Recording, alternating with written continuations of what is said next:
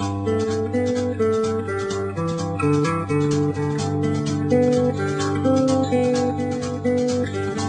took the land and changed it.